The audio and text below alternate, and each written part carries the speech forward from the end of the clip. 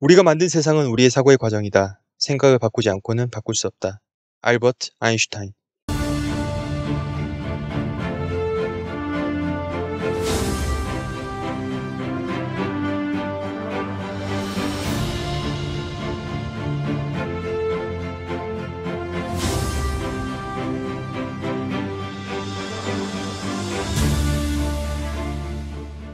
자, 오늘 중앙은행 디지털 화폐 CBDC의 전 세계 변화에 대해서 보도록 하시겠습니다. 한국은행도 1단계가 끝나고 2단계로 본격화 되었습니다.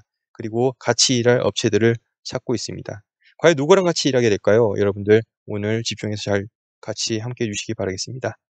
자, 중앙은행 디지털 화폐 CBDC인데요. 이 CBDC에 대해서 한국은행에서는 처음에 발행할 필요가 없다라고 2020년 2월쯤에는 그렇게 얘기를 했었죠. 왜 우리나라에는 신용카드, 뭐 그리고 전자결제 수단 등 인프라가 워낙 갖춰져 있기 때문에 다른 국가에 비해서 CBDC가 그렇게 필요할 것 같지 않다라는 의견이 있었는데요. 불과 두 달 뒤에는 디지털 화폐가 시기상조라더니 하는 내년 CBDC 시험 운영이라는 그런 또 로드맵을 냈었습니다. 이게 어떻게 된 일이냐? 사실은 한국은행보다 또 위에 있는 은행이 있습니다. 아, 이게 무슨 말이냐? 은행 중에 은행, 즉 국제결제은행 BIS라는 데가 있는데요. 이곳에서의 가이드를 제시하면 웬만한 은행들, 중앙은행들은 따라가는 그런 추세죠. 사실은 그 한국은행 이런 발표를 하기 불과 며칠 전, 즉 당시 4월 3일에 BIS에서 보고서를 냈었는데요. 코로나19와 현금, 결제수단의 미래 보고서에서 코로나19의 확산으로 소액결제용 CBDC를 포함해 높은 보건력과 접근성을 갖춘 중앙은행 운영지급 결제 인프라 출현이 가속화될 수 있다고 내다봤다.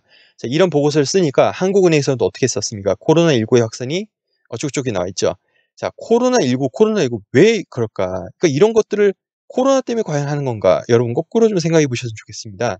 미리 준비를 해놨는데 명분이 없어서 어, 가만히 있다가 코로나 이렇게 되다 보니까 세상이 비대면으로 되고 뭔가 전자결제로 되고 이러다 보니 이게 딱 맞아 떨어지지 않았나라는 그런 의심도 할 수 있겠네요. 자, 움직이는 것이 방금 말씀드렸다시피 BIS를 주축으로 움직인다고 어, 말씀드렸죠. 향후 1에서 3년 뒤 암호화폐가 등장할 가능성이 높다 이런 기사가 나왔는데요. 언제 10월 9일 국제결제은행 BIS와 미국 연방준비제도 이사회 FED 연준, 유럽중앙은행, 영국은행 등 7개 중앙은행은 중앙은행 디지털 통화 CBDC에 대한 핵심 요건을 제시한 보고서를 발표했다 이렇게 나와 있습니다. 자, BIS 홈페이지 들어가 봤습니다. 그래서 2020년 10월 9일에 이렇게 진짜 발표한 자료인데요. 자, 이렇게 한글로 제가 번역 가지고 왔는데요. 중앙은행과 BIS는 주요 요구사항을 설명한 최초의 중앙은행 디지털 통화 CBDC 보고서를 게시합니다. 자, BIS와 7개 중앙은행 그룹이 이야기한 건데요. 어떤 7개 중앙은행 그룹이 얘기를 했냐. 캐나다은행, 영국은행, 일본은행, 유럽중앙은행, 연방준비제도 이사회. 자, 이건 뭐냐면 스웨덴 중앙은행입니다. 그리고 스위스 국립은행 이렇게 해서 7개 은행이 CBDC에 대해서 이렇게 논의를 했는데요. 스웨덴은 여러분 좀 특별하죠. 스웨덴은 왜 특별하냐면 여기는 원래 현금 사용량이 적은 국가였고 어, 그래서 좀 CBDC가 빨리 어, 사용되기 좋았던 환경을 가졌던 국가입니다.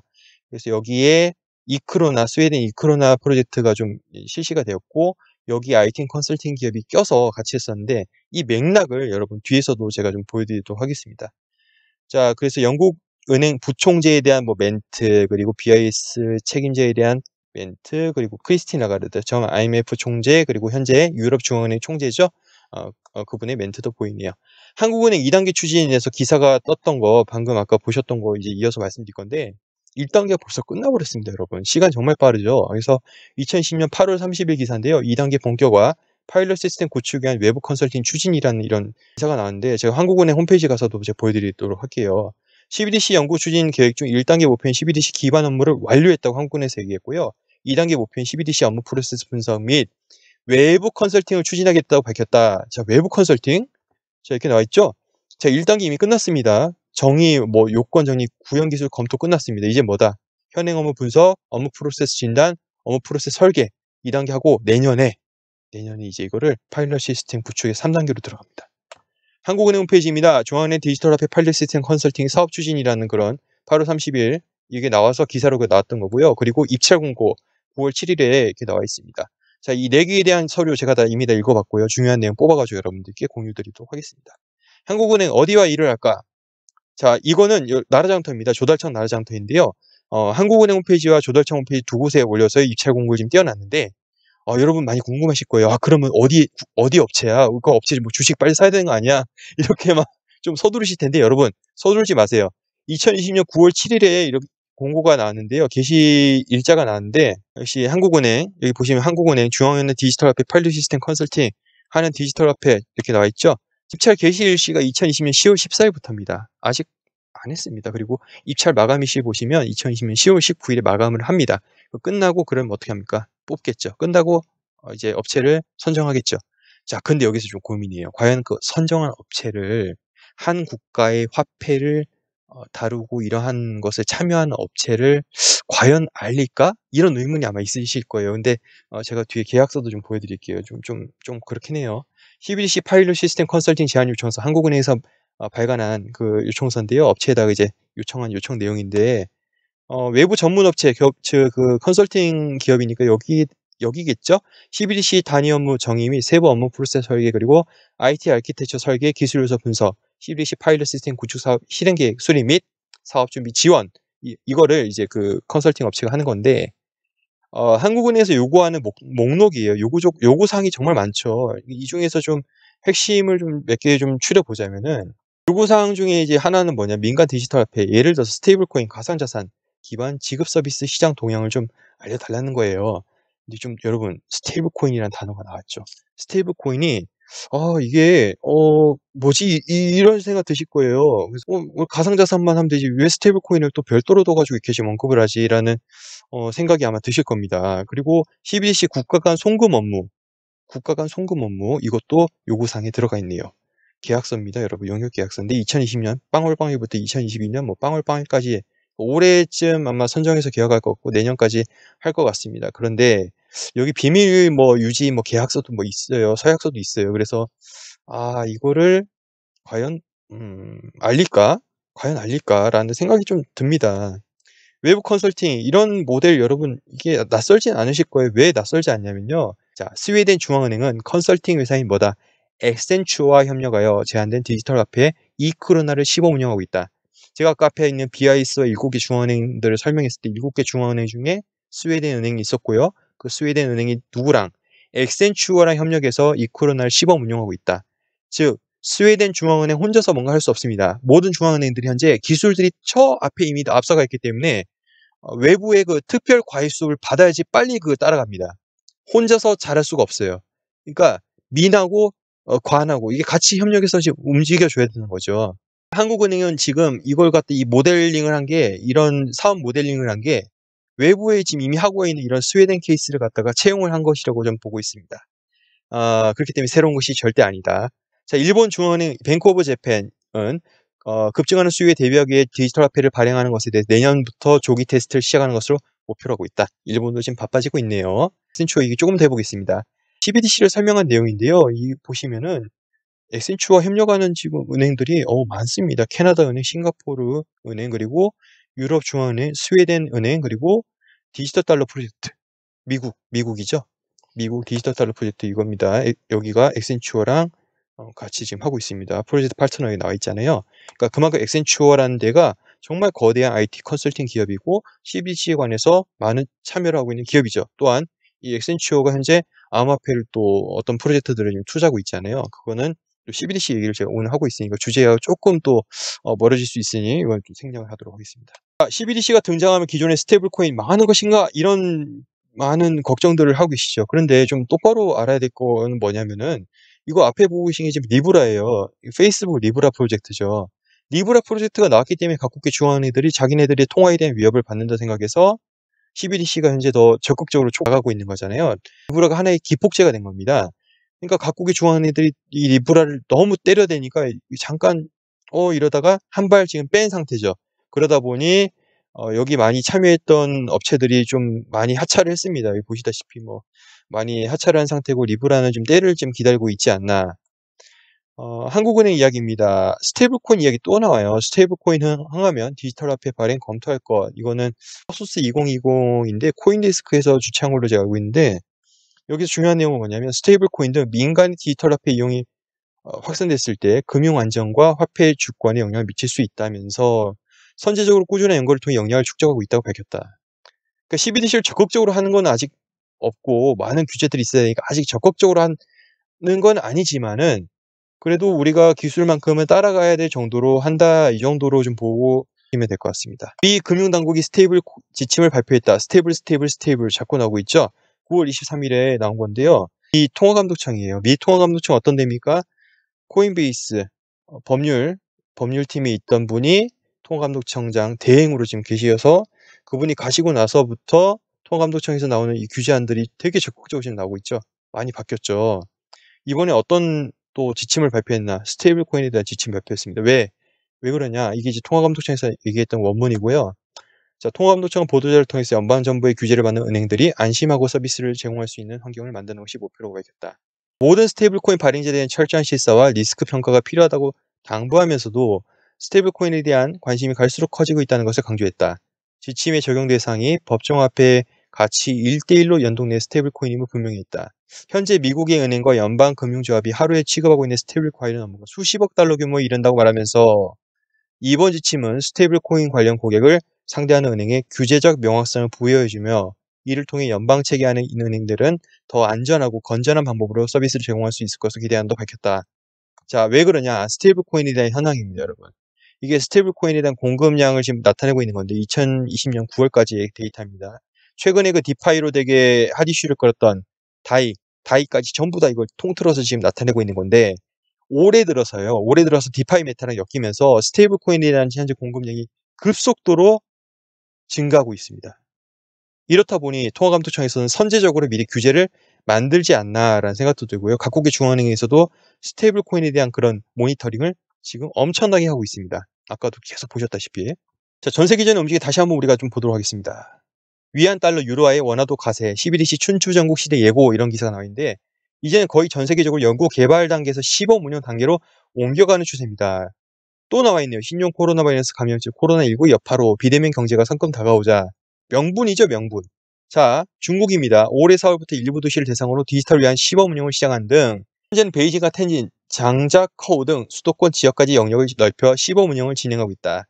최근 중국 내부 파일럿 테스트 단계에서 11억 위안, 약 1892억 원 이상 규모의 거래를 마쳤다. 한 1년간 중국 주요 도시에서 디지털 위안 시범 운영을 통해 약 313만 건의 거래, 거래액 11억 위엔을 처리했다. 와이파이가 연결되지 않은 상태에서도 스마트폰을 통해 송금 결제를 진행할 수 있는 모델을 고려하고 있다.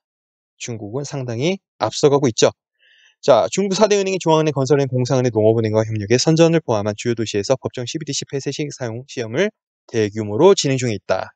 8월 7일에 나온 겁니다. 얼마 안 됐죠. 미국 이야기입니다. 연준은 분산운전 기술과 12DC 잠재적 사용에 관한 연구 실험에 적극 나서고 있다고 밝혔다라고 연준 이사가 얼마 전에 얘기를 했었습니다. 유럽입니다. 디지털 유럽 발행을 위한 공개 논의에 나섰다. 유럽인들의 저축 소비 투자가 점점 디지털화되고 있다. 유로화가 디지털 시대에 적합한지 확인하고 필요시 디지털 유로를 발행할 준비가 되어 있어야 한다고 썼다. 자, 여러분. 유럽 이야기 조금만 더 해볼게요.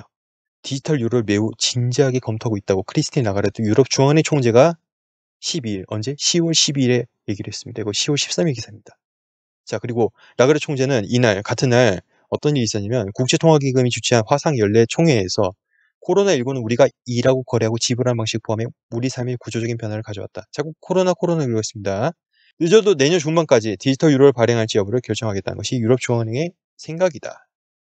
자, BIS 아까 말씀드렸던 거 10월 9일에 아까 얘기했던 거 여러분 기억하시죠? BIS랑 7개 중앙은행 이야기하고 또 얼마 안 있다가 지금 무슨 일이 일어났냐면 10월 13일이에요. 크리스틴 라가르드 아까 얘기했잖아요. 그리고 IMF, 세계은행, G20 중앙은행들이 모여서 무슨 얘기를 또 했냐면요. 이거가 Financial Stability Board라고 2008년 금융위기 이후에 생겨난 그 기구인데요.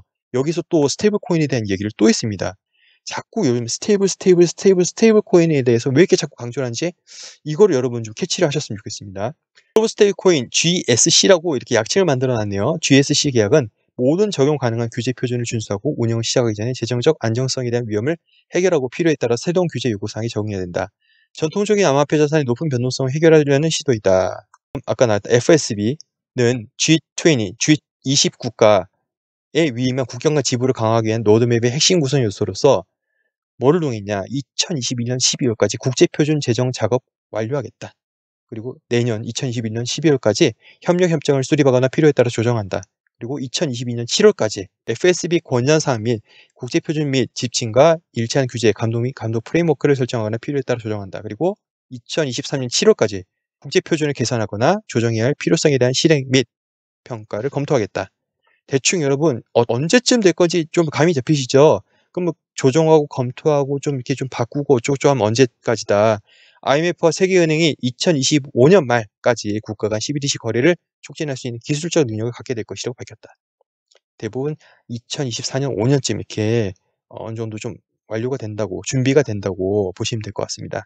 그래서 이때 국제 통화기금 IMF 세계은행 BIS 모일 거 다 모였죠. 여기서 CBDC의 사용을 좀 공식화하고 자꾸 가이드라인을 만드는 겁니다. 왜냐면 이 CBDC가 각국마다 뭐 자기네들 만들고 싶은 데다 만들어버리면 통합이 안 되잖아요. 왜냐하면 국경과 국가와 국가 간의 그 지불 서비스, 송금 서비스도 뭔가 돼야 되는데 한국은행에서도 외부 컨설팅 업체에다가 의뢰했던 내용이 또 바로 그거잖아요.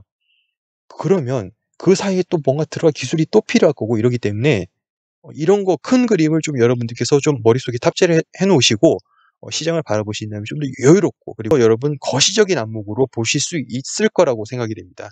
그래서 2022년 말까지 G20 회원국 그리고 IMF 세계은행 BIS는 규제 스테이블 코인 framework와 CBDC 설계 기술 및 실험의 연구 및 선택을 완료할 것이다.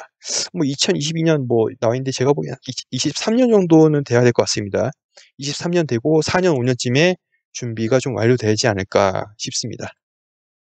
중국 얘기 좀만 더 할게요. 중국에서는 최근에 에어드랍 해줬어요. 일부 지역에다가. 그러니까 10월 12일 오후 8시부터 시민 5만 명이 디지털 화폐 200위안, 어, 우리 돈 한 3만 400원씩 1000만 위안, 17억 원을 어, 주, 어, 뿌렸습니다. 그래서 어디를 통해 주냐면 웨이신, 위챗, 위챗 계정이라고 그러니까 카카오톡 같은 거예요. 거기다가 지금 돈을 준 거예요. 좀 뭔가 비슷하지 않나요, 여러분? 이거 그냥 들으시지 말고요. 어, 지금 우리가 겪고 있는 사례와 가장 가까운 사례와 좀 빗댄다면은 이게 보세요.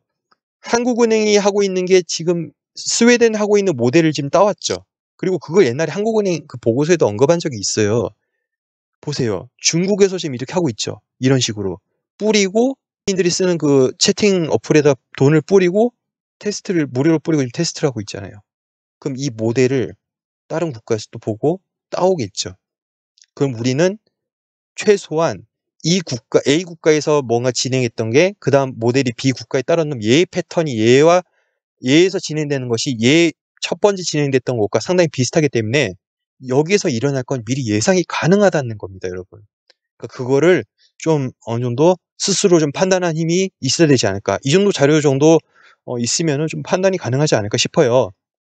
그래서 나머지는 여러분들이 좀 읽어보시기 바랍니다. 그래서 여러 가지 상업지구에서 자유롭게 쓸 수 있게끔 해서 테스트를 해보는 건데, 음, 이게 좀 전 중요하다고 생각해요. 이제 옛날에 그 2017년, 18년, 19년 때 일본 도쿄올림픽 때도 뭐 코인 많이 쓴다고 해가지고 우리 막 들떠 있었잖아요. 중국도 마찬가지입니다. 베이징 2022년 동계올림픽, 베이징 동계올림픽에서 이걸 지금 많이 쓰는 것을 지금 타겟으로 해가지고 어, 지금 뭐 DCP라죠. 여기 중국에서는 DCP를 테스트하고 있다. 자, 일본 움직입니다. 2022년 회계연도에 이런 시점에 일본의 내부 시스템을 이용해서 디지털 통화의 발행과 유통 등 기본적인 기능을 확인한 1단계 실험을 시작한 등 3단계에 걸쳐 실증 실험을 한다고 나와 있습니다. 근데 일본은 좀 아쉬운 게요. 신용카드 전자결제 수단 등 비현금 결제, cashless 결제가 2016년 기준으로 했었을 때는 지금은 어떻게 될지 모르겠습니다. 16년 기준으로는 자료에 따르면 일본은 한20% 정도밖에 되지가 않습니다. 그와 반면에 한국은 96.4% 지금 아마 더 늘었을 거예요. 거의 돈을 안 쓰고 결제를 하죠, 우리는. 그러니까 그만큼 한국이 인프라가 많이 깔려 있는 겁니다. 그래서 오늘 CBDC에 대해서 여러분 좀 살펴보셨습니다. 전 세계 CBDC의 움직임과 한국의 움직임을 보셨고, 한국은행 아직 그 입찰 그 컨설팅 업체 아직 그 끝내지 않았기 때문에 그건 좀 우리가 좀 모니터링을 좀 해봐야 될 문제인 것 같습니다. 결국은 뜬금없이 움직이는 거 없다. 그리고 국제 표준이 필요하다라는 거 우리가 다 지켜왔습니다. 그리고 어, 과연 어떤 업체가 한국은행과 일을 하게 될 건지에 대한 여러분들의 생각 자유롭게 댓글로 남겨주시면 좋을 것 같아요. 자, 그리고 오늘 스테이블 코인 언급 정말 많았습니다. 그래서 스테이블 코인에 대해서 투자를 막 이제 하시려는 것 같은데 제가 좀 하나 말씀드리고 싶은 건 다음 시간에 이거 좀 말씀드리고 싶어요. 메이저 투자사들, 정말 큰 이 코인 투자 업체들로부터 막 투자를 역대급 투자를 받았는데 사업을 철수한 케이스가 있습니다. 그걸 실패한 프로젝트가 있습니다. 그걸 다음 시간에 좀 소개를 해드리도록 하겠습니다. 자, 여, 여러분 영상이 좋으셨다면 좋아요 부탁드리고요. 아직 구독 안 하신 분들 구독 부탁드리겠습니다. 다음 시간에도 좋은 내용으로 찾아뵙도록 하겠습니다. 시청해주셔서 감사합니다.